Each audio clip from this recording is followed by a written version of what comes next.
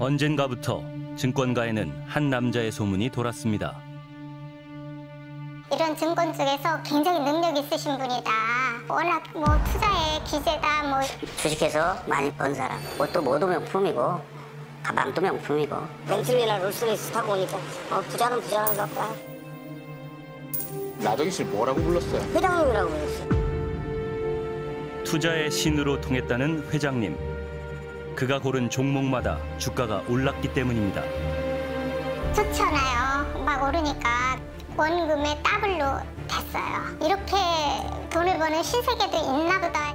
그게 뭐 200만 원 올라가고 300만 원 올라가고 5억 6억이 된 거죠. 예. 1조 원 규모의 돈을 굴린다는 그는 투자 자문회사 대표 라더견 씨입니다. 제가 작년에 한 300% 수익 내고 올해 한 또 더블 정도 수익 내고 한 600% 정도 수익 났는데 사람들이 이걸 안 믿는 거예요. 지금은 사실 저한테 큰 손이라고 하면 한 천억 정도 넣어야 저한테 큰 손이거든요. 정재계 네로라 하는 인사는 물론 유명 연예인까지 수십억 원의 큰 돈을 그에게 맡겼습니다. 근데 저 선생님의 돈을 맡겨. 이게 종교야. 어? 너 잘하고 있어. 왜냐면 내 돈을 가져갈 저 새끼 맞아요, 안 맞아요? 무더기 하한가 사태가 나흘째인 오늘까지도 오늘 또다시 하한가로 직행했습니다. 하한가 사태에 따른 피해가 걷잡을 수 없이 커지고 있습니다. 투자의 신이 하루아침에 주가 조작의 핵심으로 지목됐습니다. 대표님 지금 어떤 부분 설명하셨어요? 지금까지 지속적으로 범행 부인해 오셨는데 한 말씀만 해주세요.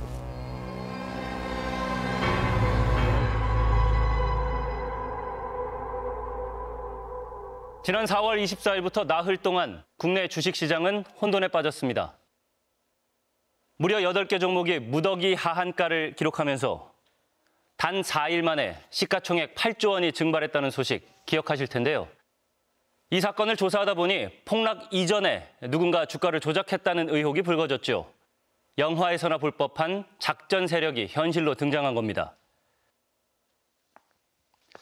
이 판의 설계자인 라더견 씨.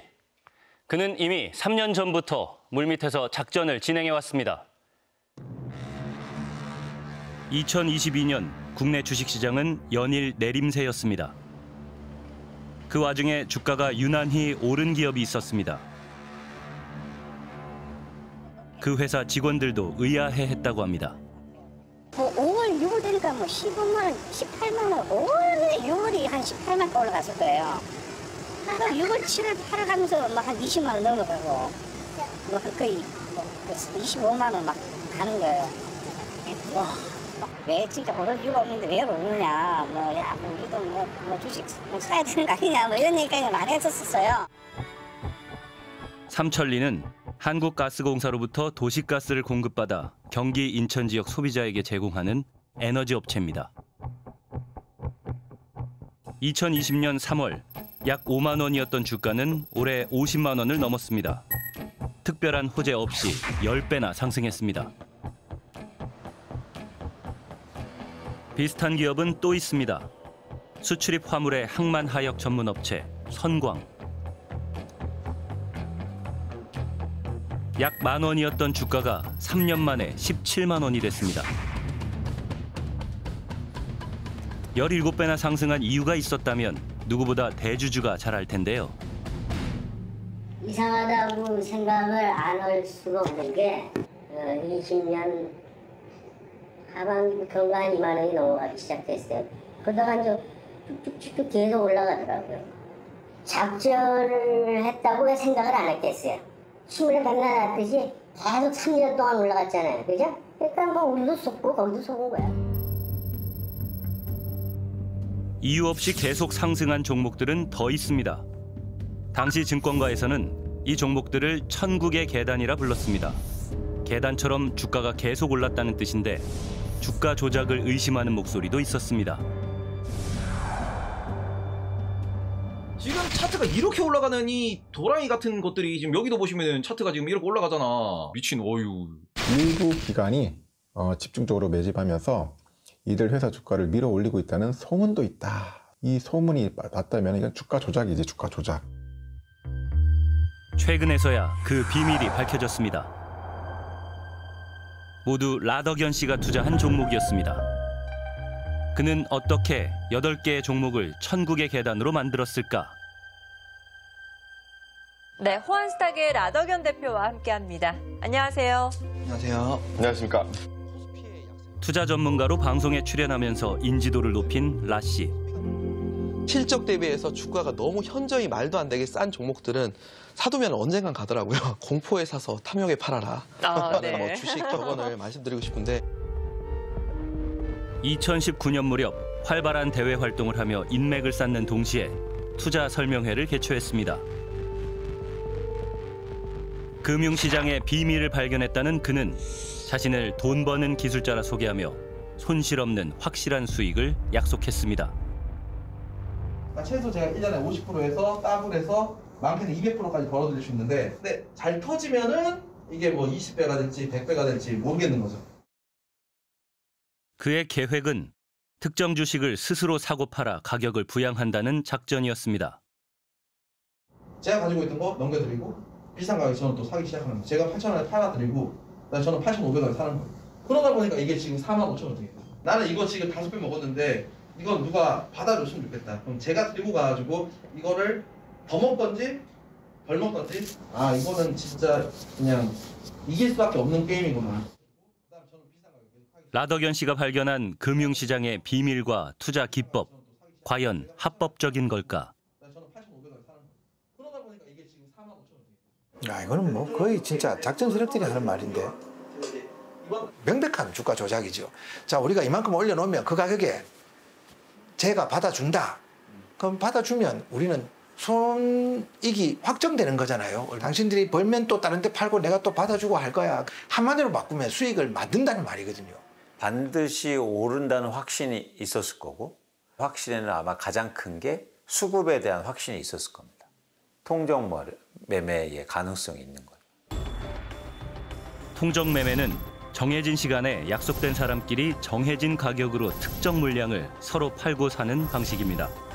인위적으로 주가를 올리는 대표적인 시세 조종 수법으로 현행법에서 엄격하게 금지하는 불법 행위입니다. 주가를 올리기 위해서는 막대한 자금이 필요했습니다. 투자 컨설팅 회사를 차린 라덕연 씨는 본격적으로 투자자를 모집했습니다. 라씨 회사의 고객 관리팀 업무는 일반 투자 회사와는 달랐습니다. 어, 위에서 투자가 위치 확정된 사람을 정해서 저희한테 연락을 줘요. 이렇게 연락이 오면 가서 만나서 계좌 개설해드리고 뭐 증권사 어플 깔아서 가입해가지고 계좌번호를 알려주죠. 그 비밀번호는 투자자한테 알려주지 않나요? 네. 이제 비밀번호를 저희가 관리를 하기 때문에 박건우 씨를 찾아온 직원도 새로 개통한 휴대전화에 박 씨의 증권 계좌를 만들었습니다. 뭐 전문가예요. 가방 딱 열어서 뭐 저 신분증 주세요. 사진 찍어서 올- 올리고 해서 뭐 몇 번 만지니까는 개통되고 그렇게 해서 증권 계좌 열어주고 뭐 이렇게 완전 전문가예요. 그런데 그 휴대전화를 라덕연 측에 통째로 맡겼습니다. 이게 대회이기 때문에 예, 어, 그 투자금 종목을 알려줄 수 없기 때문에 가져간다. 약간 좀 불안하거나 이러시진 않으셨어요? 아 불안하지 않았습니다.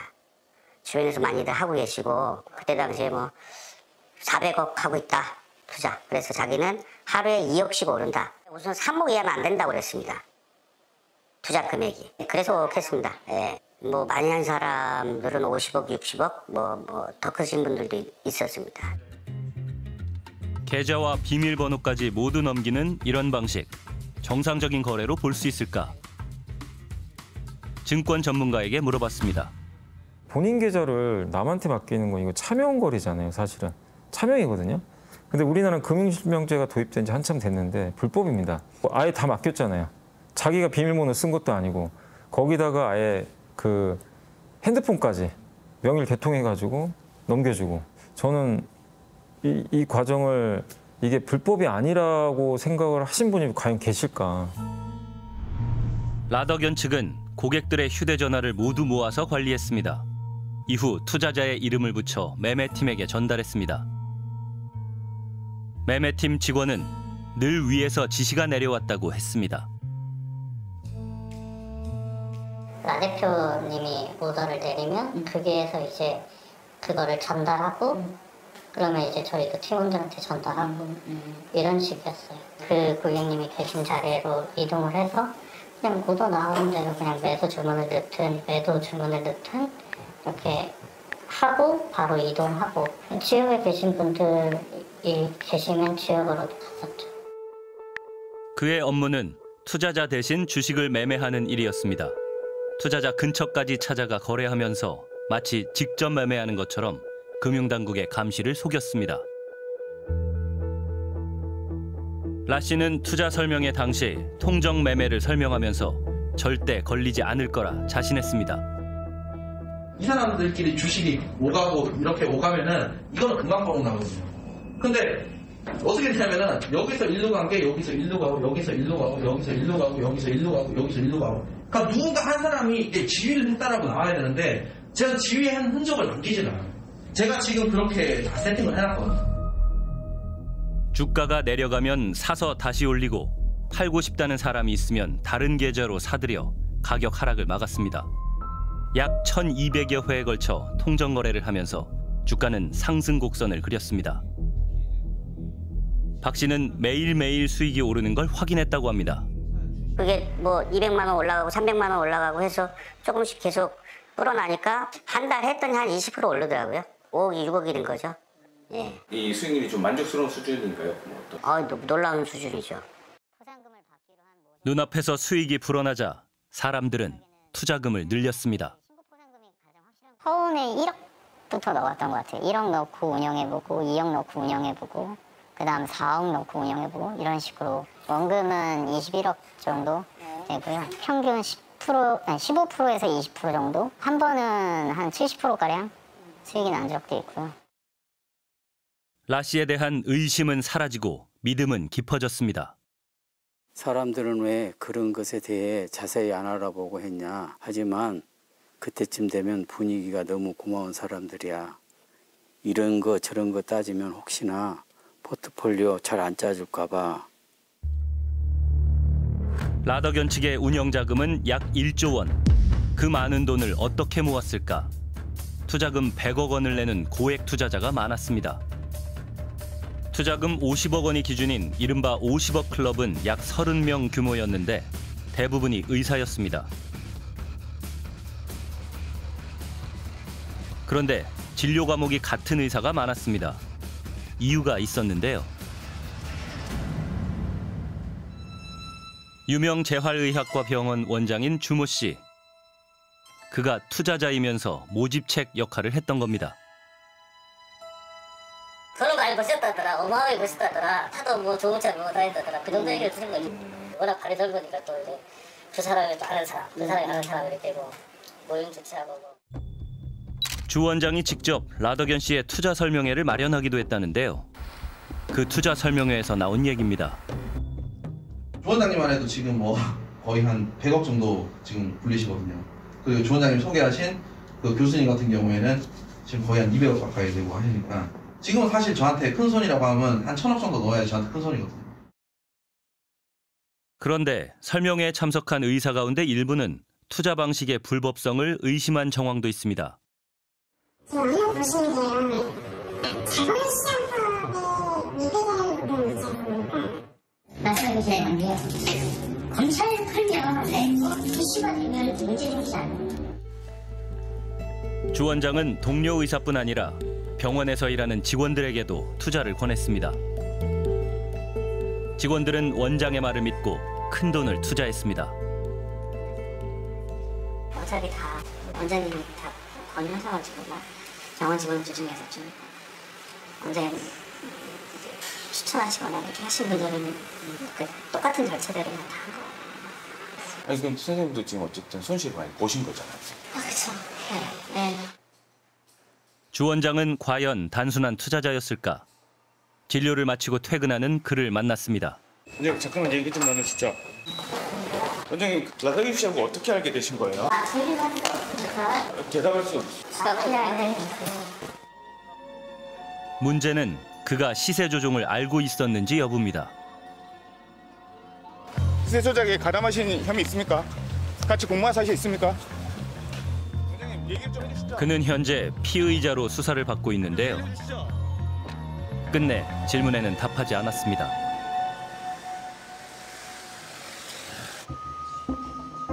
(2022년 12월) 라 씨는 성대한 행사를 개최했습니다. 운용자금 1조 원을 기념해 행사 이름도 조조 파티였습니다.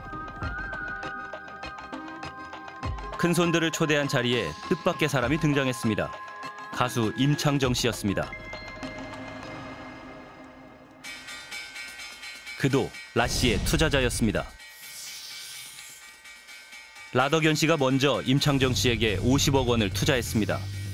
그런데 임창정 씨가 받은 50억 원 중에 30억 원을 다시 라 씨를 통해 투자한 겁니다.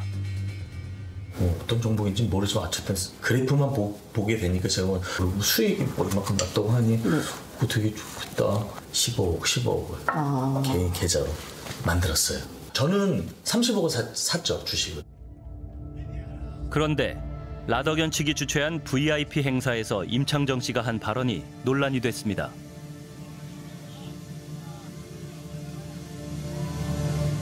근데 조선대때 돈을 맡겨. 이게 종교야? 어? 너 잘하고 있어. 왜냐면 내 돈을 가져간 저 새끼 맞아요 맞아요. 너 다음 달 말까지 한 달 딱 줄 거야. 수익률 원하는 만큼 안 주면 이거 다 내가 다 해결시킬 거야 이 새끼야 맞아요 그 자리에 참석했던 한 관계자는 임창정 씨가 피해자라는 주장을 이해하기 힘들다고 말합니다. 거기에 있던 분들한테 내가 나도 투자하니까 당신들도 투자해 이런 말 뉘앙스는 확실히 들은 것 같아요. 굳이 자기가 나서서 그런 이야기를 할 필요는 없었지 않았을까. 그러니까 왜 그런 이야기를 했는지는 임창정 씨 본인만 알겠죠. 아, 임상도 하는구나. 임상도 막 노래 부르고 갔다고 막 그렇게 얘기하더라고요. 그러면 진짜 믿을만 하구나. 무슨, 뭔지는 모르겠지만. 라덕연 씨 측이 소유한 골프 관련 법인 자본금 133억 원 규모로 라덕연 일당의 지주회사나 다름없는 이 업체의 최대 주주는 라덕연. 주가 조작 핵심 인물들이 모두 주주 명단에 들어 있습니다. 명단에는 임창정 씨도 있습니다. 그 50인이 뭐냐고 돈을 댄 사람이냐고 그랬더니 진짜 핵심 멤버들 그렇게 50인을 뽑아서 시그니처 골프장의 주주로 만들었다고 하더라고요. PD수첩은 임창정 씨의 입장을 직접 듣기 위해 여러 차례 인터뷰를 요청했습니다. 네 안녕하세요. 저희 MBC 필수적 팀에서 왔는데요. 네, 네, 누구 찾아오셨습니까? 임창정 씨 만나볼까? 그의 답변을 듣기 위해 소속사를 방문했습니다. 네. 하신다고. 되게 많이 부담스러운 게 상황이라서 저희는 정말 투자자 투자해 주신다고 하셔가지고 그렇게 해서 만나고 처음 만나 뵙고 한 거였는데 그분들이 주가를 한 거를 저희는 당연히 몰랐죠 아주 쓰면은 고민된 입장에서 어떻게 그거를 하겠습니까 네. 평소도 얼마나 많이 조심, 조심하시는 분이신데 임창정 씨 측은 본인이 피해자라는 사실을 강조했습니다. 행사에 참석해 문제가 된 발언에 대해서는 서면으로 답변했습니다. 단지 분위기에 휩쓸려 과장된 발언을 했으며 후회하고 반성한다고 밝혔습니다. 라덕연 씨 측 회사에 주주로 등재한 이유는 라 씨를 믿었기 때문이라고 했습니다. 라덕연 측 골프법인 주주 명단에 눈에 띄는 인물이 한 명 더 있습니다. 예, 유신일 한국산업양행 회장과 함께하도록 하겠습니다. 그는 한국 최대 골프 기업 대표 유신일 회장입니다. 명문 골프 코스인 PGA 웨스트 골프 코스 등 미국과 일본의 25개 골프장을 소유한 재계 인사입니다. 지난 4월 유신일 회장은 자신이 소유한 미국 골프장에서 임창정, 라덕연 씨와 함께 만났습니다.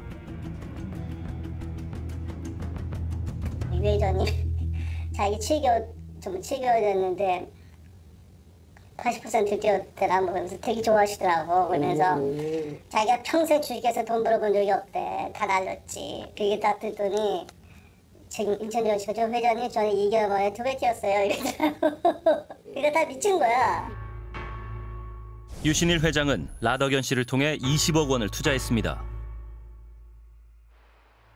유 회장에게 라 씨를 소개한 사람은 누구일까? 이중매 회장이 이제 갑자기 전화가 왔어요. 뭐 좋은 사람을 소개해 줄 사람이 있다 그래요. 그래서 저 나대근이가 주식을 해줘가지고 돈을 많이 벌어줬대요. 거의 한마디로 JMS 교주 보듯이 봐요, 다들. 유 회장 이거 이거 금융 치료다 이거. 어? 어 이제 이거 진짜 이거 하면 있는 병도 낫는다. 평소 라덕연 씨를 보물이라고 불렀다는 그는 이중명 회장입니다. 국내 굴지의 리조트 사업가이자 최고급 리조트를 소유한 이 회장은 라 씨에게 여러 명의 투자자를 소개했다고 합니다. 저희는 막 투자를 하신다고 해서 무조건 받지를 않아요. 이중명 회장님께서 워낙 저희 회사에 좀, 어, 좀 큰 분이거든요. 이제 이중명 회장님께서 소개를 하신다고 하셔서 라덕연 씨가 만든 판에 언론, 정재계 인사들이 합류하면서 작전 세력의 힘은 더욱 커졌습니다. 이중명 회장에게 연락을 시도했지만 닿지 않았습니다. 지금 가신 전화는 없는 번호입니다. 그러니까 기업 가치와 무관하게 주식을 인위적으로 끌어올리는 거거든요. 그러니까 어, 사람들을 끌어들여서 그러니까 유명인들, 연예인이나 뭐 의사나 정치인이나 뭐 이런 사람들을 끌어들여서 믿게끔 환상을 심어준 거죠. 저 사람들도 하니까 내가 해도 돈을 벌겠다.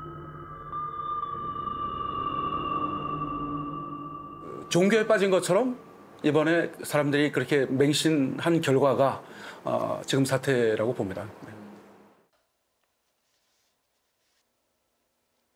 정재계와 언론계, 연예계, 의료계까지 마치 거미줄처럼 서로의 인맥을 동원해 투자자의 규모를 키웠는데요.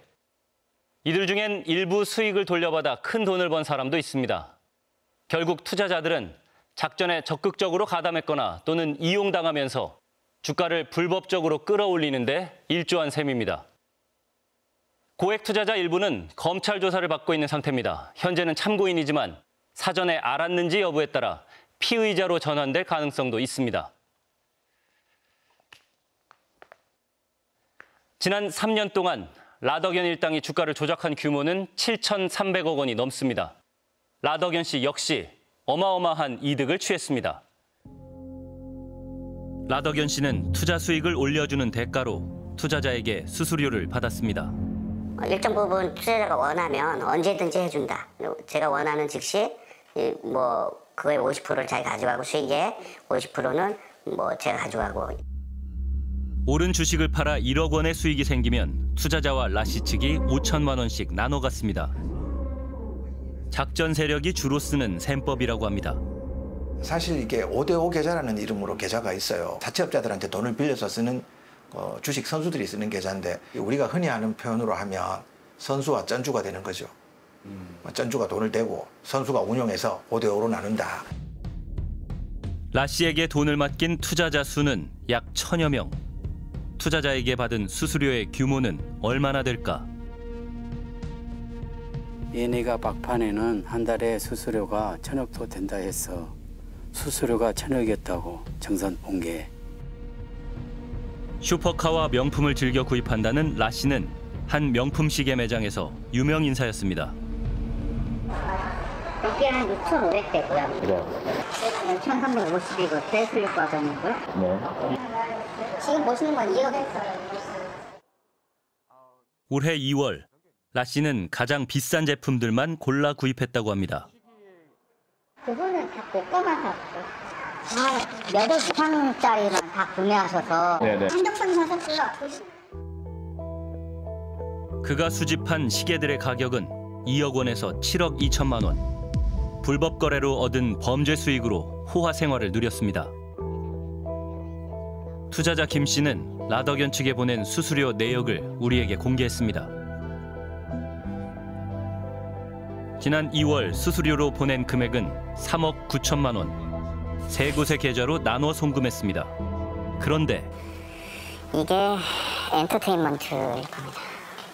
RNA? 네, RNA가 있네. RNA가 5천만 원. 아, 제목을 이렇게 해달라고 하다가 예능 제작 투자 이렇게? 네. 어. 그쪽에서 입금해달라는 입금자 명이나 뭐 다른 입금 계좌는 승마 리조트와 상품권 구매처였습니다. 라시 측의 요구에 따라 모두 다른 이름으로 입금했습니다. 투자자들이 예능 제작 투자라는 명목으로 돈을 보낸 법인 사무실을 찾아가 봤습니다. 아예 출입구를 막아놨네요. 평일인데도 문이 닫혀 있었습니다. 등기부 등본을 확인한 결과 RNA는 주식 투자와는 전혀 관계가 없는 방송 제작 관련 법인이었습니다. 세무사는 자금 세탁과 조세 포탈 가능성을 제기했습니다. 투자 수익을 거두는 방법을 뭐 페이퍼 컴퍼니 비슷하게 만들어 놓고 그 사업 소득인 것처럼 음, 이제 그런 식으로 위장해 가지고 하고 자기들끼리는 끼리는 서로 매출 매입을 이렇게 주고받고 연결을 하면서 그렇게 하는데 이제 이거를 이제 특수관계자 사이에 이제 자전 거래라고 이야기를 합니다. 아 당연히 탈세죠. 그러니까 있지도 않은 거래를 한 거잖아요. 라더견 일당의 이름으로 세운 법인을 조사한 결과 확인된 것만 20곳이 넘습니다. 골프 관련 법인을 비롯해 승마 리조트, 명품 판매점까지 투자 수수료의 창구로 사용했을 가능성이 큽니다. 눈에 띄는 이름의 법인이 있습니다. 이 나라의 왕을 찾는 이곳은 대체 무슨 일을 하던 곳일까? 지난 4월 입주했다는 사무실엔 책상과 컴퓨터뿐이었습니다. 옆 사무실을 찾아갔습니다.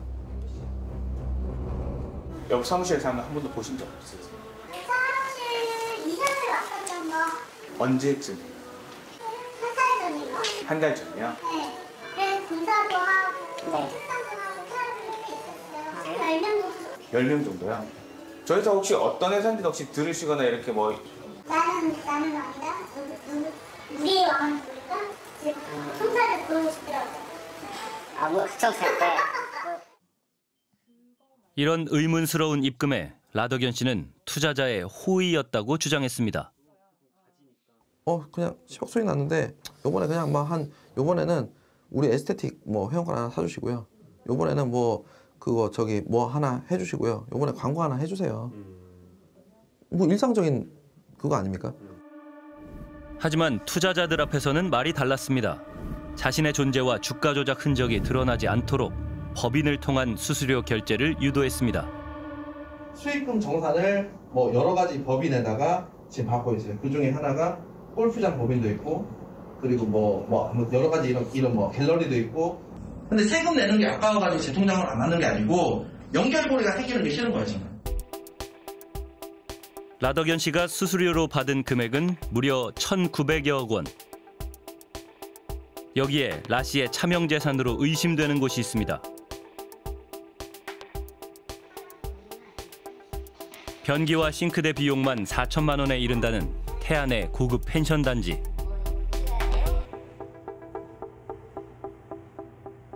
어, 외장재도 되게 비싼 거예요, 저게. 저게 일본에서 직수입하는 건데, 저걸로 전원주택 짓는 사람은 거의 없어요.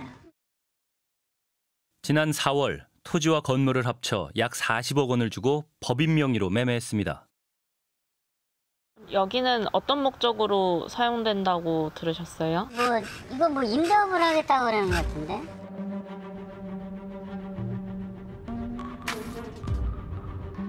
올해 2월 약 44억 원에 사들인 무안의 한 리조트입니다. 라시 측이 받은 수수료로 구매한 것은 아닌지 의심되고 있습니다. 서울에서 고객분들이나 아니면 이렇게 지인분들이 골프를 친다거나 했을 때 바로 올라오기가 거리 상으로는 머니까 뭐 숙박이랑 같이 하면 좋겠다. 그래서 진행됐던 걸로 알고 있습니다. 바다 건너 미국에서도 라 씨 측의 부동산이 발견됐습니다. LA 인근에 있는 유명 골프 리조트. 고급 숙박시설과 36홀짜리 private 골프장으로 이름난 곳입니다.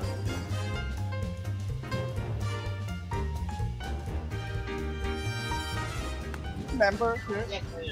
Are you owner? Yes. Oh. Do you know how much is the like non uh, membership fee for non homeowner? Um, and off and on, they charge. Um, yeah, when you're not um, a resident, they charge a couple thousand dollars in addition to the tent. 골프 리조트의 전 소유자는 라 씨에게 20억 원을 투자했던 유신일 회장입니다. 올해 4월 5일 골프 리조트의 법인 대표자가 라덕연 씨로 바뀌었습니다. 리조트의 인수금은 약 330억 원이었습니다.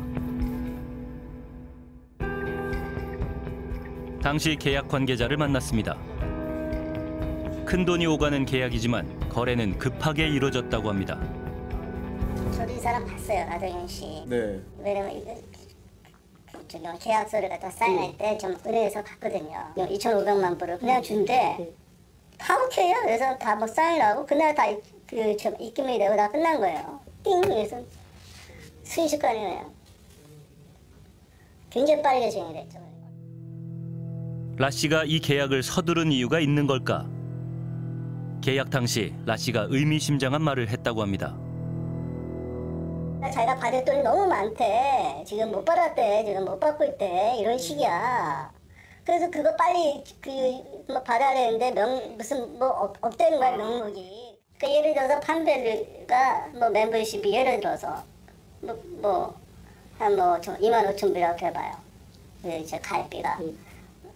근데 이런 사람들한테는 뭐 거의 뭐 10만 불, 5만 불 이렇게 받아도 큰 큰 문제가 안 된다는 거야. 지난 3년 동안 아무 탈 없이 천억 원대의 수수료를 챙겼던 라덕연 씨. 그에게는 앞으로도 흔적을 남기지 않고 고액의 수수료를 담아낼 새로운 창구가 필요했을지도 모릅니다. 들어오는 사람도 많고 나가는 사람도 있는데 나가는 사람이 많으면 이거 주가가 빠지는 거 아니냐 절대 안 빠집니다.